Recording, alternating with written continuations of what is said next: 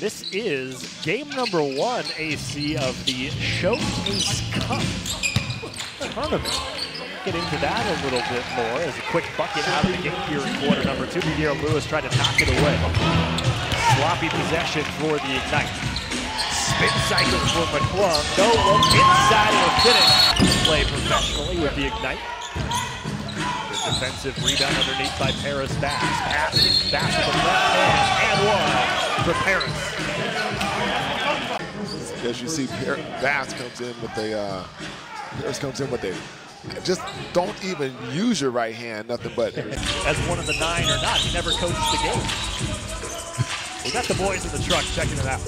Mac McClung. Oh, who said Mac McClung can't dunk?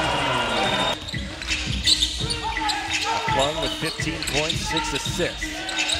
Gets the assist to Chaundee Brown Jr., who nets the triple. Yes, you're right.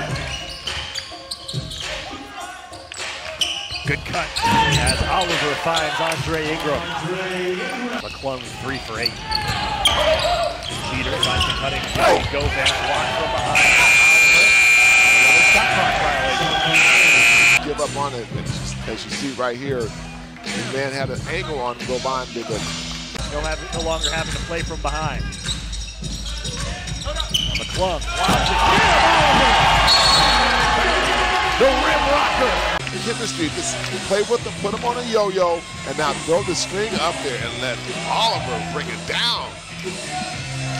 Oh man, he, my, that took me back to some big Shaq moments I had. oh, Oliver, nice, great finish.